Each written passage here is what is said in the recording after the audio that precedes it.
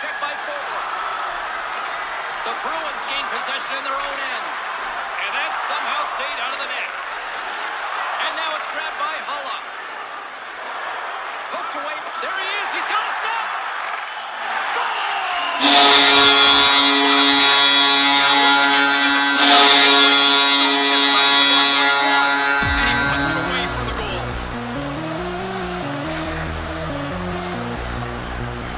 tried to make a desperation save there, but he gets beat. Not much else he could do. The Bruins taking one goal lead here in the second. This game doesn't look like it's going to stretch out at all now, James. Even though there is a lead, it seems like it'll stay close.